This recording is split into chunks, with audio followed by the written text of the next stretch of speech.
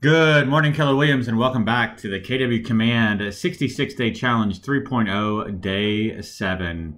Happy Thanksgiving, Keller Williams. Hopes everyone is having an amazing day surrounded by friends and family and good food, good laughter. Hopefully, just having an amazing day. So, today's video is going to be short and sweet. Uh, the challenge, we're still talking about contacts, and so I wanted to go into the contact applet or submenu here and I'm going to show you a little bit about how to search for contacts and then how to divvy up your contacts between uh, your contacts, your leads, and then everybody together. So uh, first thing here, we have the search drop-down box. You can see here, if I just start searching, if I click in this box, it's going to default to everything, meaning that if I search for something like Miller, I'm going to get everybody that has a first name with Miller, everyone that has a last name as Miller. You can even see I've got Kim Miller Spalding because that's her maiden name. So right now, that's going to bring up everything that has Miller in it. If I wanted to search for someone that had a first name as Miller, I could leave that in there and search for the first name. You'll see no one in my database actually has a first name with Miller. I can look for last name as Miller. I can see all of the 11 contacts in my database that have last name, or in this case, a maiden name with Miller.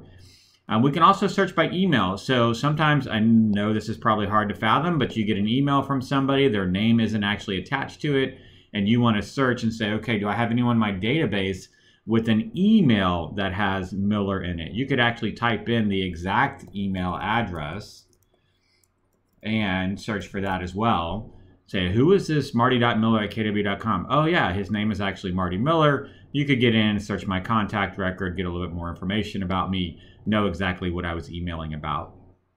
Additionally, if somebody's calling about an address, or maybe it's, you know, someone's calling about a listing and you don't have your MLS pulled up, but they're saying, yeah, we're calling about the listing on um, Fawn Lake. So I could get into my database and say, okay, do I have any contacts with an address on Fawn Lake?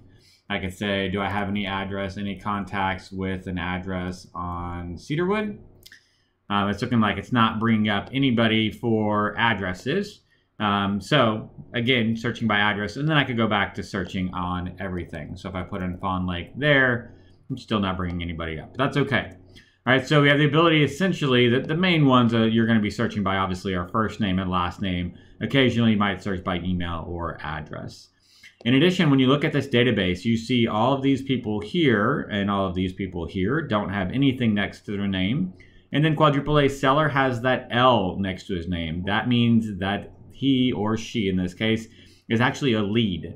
So that is somebody that I've either entered in my database and chosen to mark them as a lead, or someone that was fed into my database, most likely through a campaign. So if you had a social media campaign running, somebody clicked on one of your ads and filled out the Facebook form, for example, they would be brought into your database and marked as a lead. So if you only wanted to see just your leads, you could click on this drop down where it says everyone and choose instead of seeing everyone, I just want to see my leads.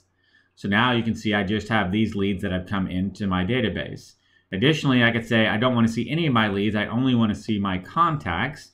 Then we flip the script. Basically, all the leads are gone. Now it is strictly contacts in my database.